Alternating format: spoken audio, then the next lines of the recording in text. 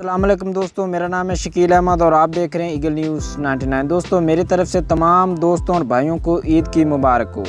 दोस्तों, मैं जानता हूँ कि मैं बहुत बड़ा यूट्यूबर और क्रिएटर तो नहीं, लेकिन चंद बातें आप सुन लीजिए दोस्तों प्लीज़ दोस्तों, मैं उन दोस्तों का शुक्रगुजार हूँ जिन लोगों ने इस चैनल की वीडियो को देखा। दोस्तों चैनल को सब्सक्राइब किया, वीडियो को लाइक किया और वीडियो पर कमेंट किए। दोस्तों, मैं उनका तह दिल से शुक्रगुजार हूँ। दोस्तों, बहुत ही शुक्रगुजार हूँ क्योंकि दोस्तों, आपने कहावत तो सुनी होगी कि कतरे कतरे से दरिया बनता है। दोस्तों, एक एक सब्सक्राइबर, बहुत सारे सब्सक्राइबर बन जाते हैं। एक एक लाइक, बहुत सारे लाइक बन जाते हैं। दोस्तों, ये आपकी प्यार और मोहब्बत है जो मैं आपसे ये बातें कर रहा हूँ। दोस्तों, आप ऐसे ही प्यार और मोहब्बत आइंदा भी दिखाते रहें।